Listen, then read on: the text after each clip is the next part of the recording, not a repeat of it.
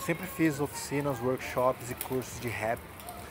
O conceito, a prática, várias vivências assim no sentido do rap, do hip hop e do improviso, mas nunca tinha feito com terceira idade. Foi o público que mais distante que eu fiz do rap até agora. Numa ocasião eu cheguei a fazer na Unesp com uma turma de professores colombianos, eles não falavam português, eu também não falava espanhol e foi uma oficina massa e eu fiquei pensando, se eu dei uma oficina para umas pessoas que falam uma língua parecida, mas não é igual e rolou, acho que pode rolar assim com terceira idade, mas confesso que eu vim na tensão de saber o que eles iam achar, como eles iam receber essa ideia e me receber. Uma senhora já falou que não gostava de cururu, que ela ia pra piscina.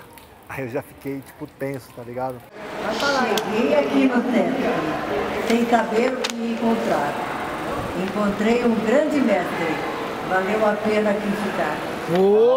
A ideia era usar como base na oficina um capítulo do livro Conversos com Versos, que eu escrevi sobre oficinas de rap no ensino fundamental e um artigo que eu escrevi chamado Neto e o Avô, falando da proximidade da distância entre o cururu, o rap e o repente. Pegando esse gancho das gerações, eu convidei também, mandei para minha lista de e-mail, convidei no Instagram também meus amigos jovens também, meninos, né? Chamei o Fractal, Cauê, o Gabriel, o Gustavo, o Pedrinho, e botei o pessoal para escrever, para fazer umas estrofes. Eles podiam imaginar um rap, eles podiam imaginar um ritmo mais do cururu, ou do repente, ou do coco, né? Que é embolada.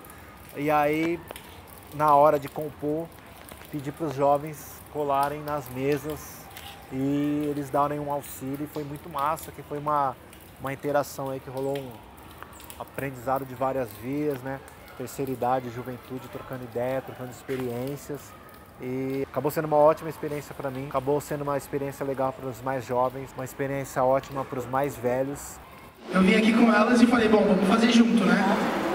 E aí elas estavam falando, né, que na época delas elas escutavam Elis Regina, escutavam Alves, Legal. Frank Sinatra, e aí saiu um negócio assim entre nós três. Hoje estou feliz por estar aqui.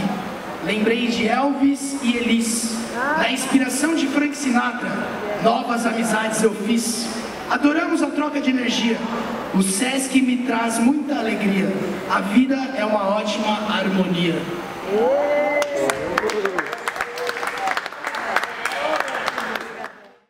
Garanta que você não vai perder nenhum episódio do Consultor de Rima. Cadastre seu e-mail e também receba o convite para fazer parte do grupo no Facebook.